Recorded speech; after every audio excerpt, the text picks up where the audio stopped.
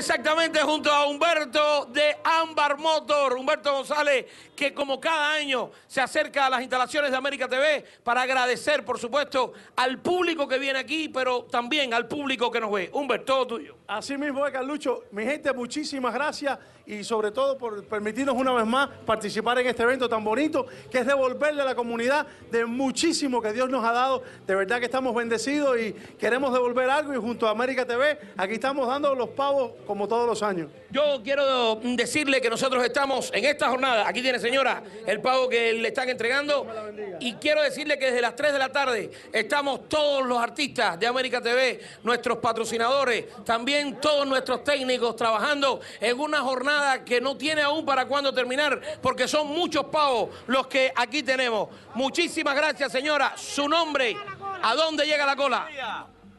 Tremenda cola, como tres millas de cola. Y la gente está contenta con el pavo.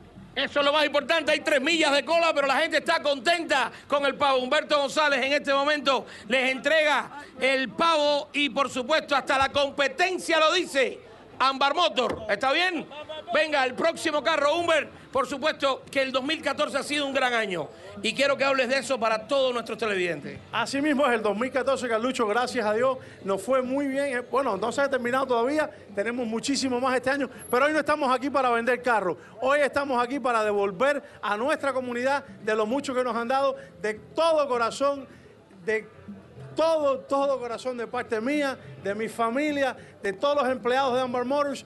De verdad, muchísimas gracias a todo el pueblo de Miami, porque todo el mundo sabe que tener un negocio no es fácil y ustedes son los que nos han llevado al lugar donde estamos. Gracias y que Dios me los bendiga.